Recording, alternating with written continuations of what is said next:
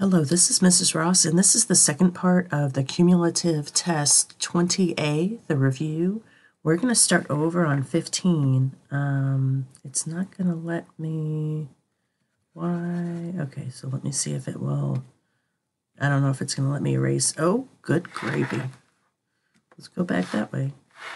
See if it'll let me erase what I put on there before. It may not. Uh, okay, so, sorry, just working some technical stuff out. I'm going to take this over here and I'm going to start over. So here, just cross this out. 0.6m plus 1.5 equals 4.8. And this is a two-step problem. First step is addition or subtraction. We're trying to get rid of the term that does not have the variable. So we're going to get rid of this term. We're going to hold on to this. That goes away. We have to do that to the other side of the equals. And I get 3.3. And then my second step is to multiply or divide. So I'm going to divide by 0.6. And I get m is equal to 5.5. Okay, let me go ahead and change my um, colors here. We'll do 16 again as a two-step problem. So my first step is addition or subtraction. I'm going to get rid of the term that does not have x in it. So I need to do the opposite. This comes down. This goes away. This comes down. And uh, 18 plus 6 is 24. Then I'm going to do my second step, which is multiply or divide.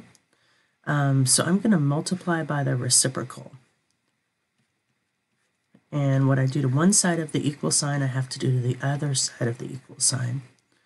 Um, so this goes away, my x comes down, my equals comes down. I have 24 times 3 over 1 times 2.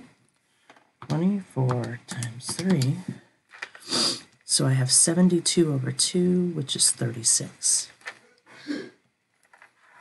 Okay, so let's simplify this.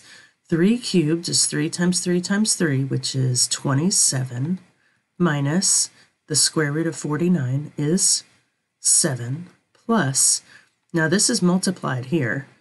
It's almost as if there were parentheses. So this is going to be 5 times 2 times 2 times 2 times 2. So this 2 times 2 is 4, times 2 is 8, times 2 is 16. So this we're going to have to do before we do anything else. So um, plus 5 times 16 is 80. Now that I have addition and subtraction, I can go left to right.